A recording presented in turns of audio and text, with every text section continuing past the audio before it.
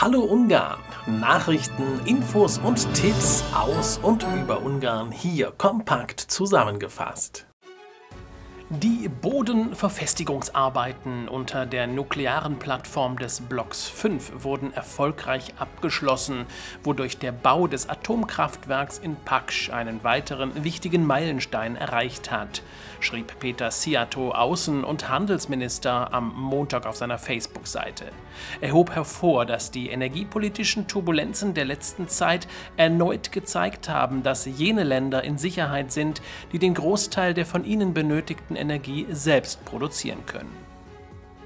Voraussichtlich wird der Zugverkehr am Budapester Keleti-Bahnhof am Dienstagvormittag wieder aufgenommen, nachdem am Sonntagabend der Intercity-Zug namens Claudiopolis, der von Cluj nach Polza kam, mit fünf Wagen entgleist war. Bei dem Unfall gab es keine Verletzten. Derzeit läuft die Unfallbeseitigung. Danach werden die Schäden bewertet und die Unfallursache ermittelt, bevor der Bahnhof wieder für den Verkehr freigegeben wird. Mehrere weitere Zugunfälle erschwerten am Montag den Verkehr in Ungarn. An verschiedenen Orten im Land ereigneten sich Unfälle, bei denen es auch zu Todesfällen kam. An mehreren Bahnübergängen kam es zu Kollisionen von Zügen mit PKWs und LKWs. Hervorgerufen wurden die Unfälle durch Nichtbeachtung der Bahnsignale auf der Straße. Ab Montag hat der Grenzübergang Röske verlängerte Öffnungszeiten und ist von 4 Uhr morgens bis 23 Uhr abends geöffnet. Die anderen Grenzübergänge in der Region Chongrad-Chonat sind zu den gewohnten Zeiten geöffnet.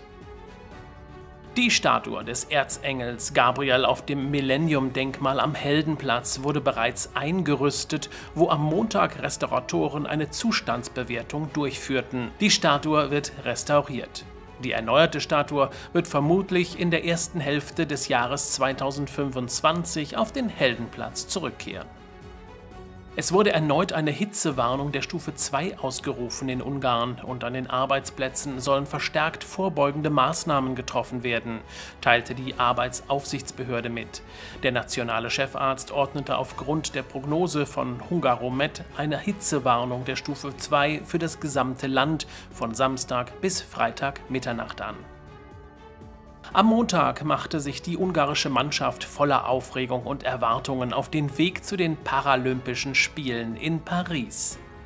Am Flughafen äußerten mehrere Mitglieder, dass sie sich darauf freuen, nach der Vorbereitung endlich am Veranstaltungsort anzukommen, ihre Unterkunft im paralympischen Dorf zu beziehen, die paralympische Atmosphäre zu erleben und die ersten Trainingseinheiten zu absolvieren.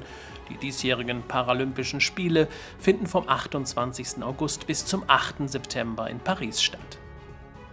Wegen Bauarbeiten wird die Köröschhedj-Talbrücke voraussichtlich ab dem 2. September für zwei Wochen vollständig gesperrt.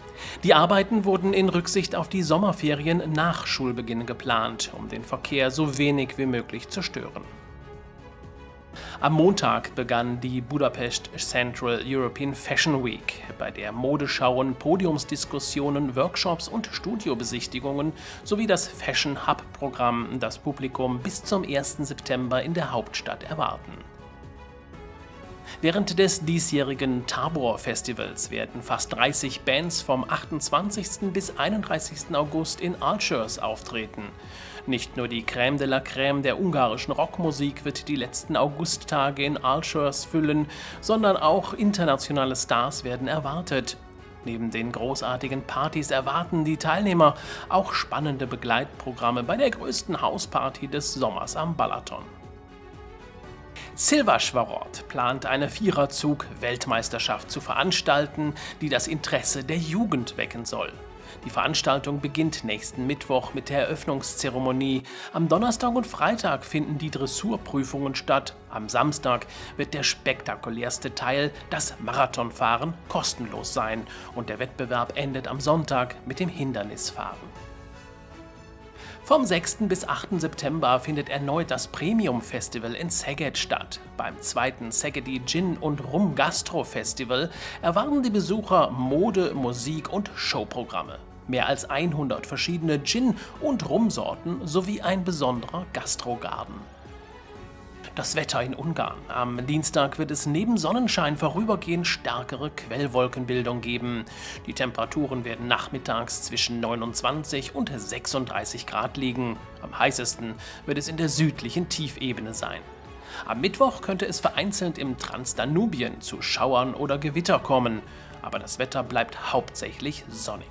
Die Morgentemperaturen werden zwischen 15 und 22 Grad liegen, die Nachmittagstemperaturen erreichen bis zu 36 Grad. Der nordöstliche Wind wird hauptsächlich östlich der Donau lebhaft sein.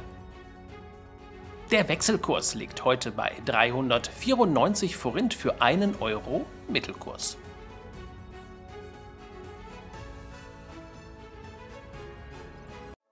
Hallo Ungarn! Nachrichten, Infos und Tipps aus und über Ungarn hier kompakt zusammengefasst.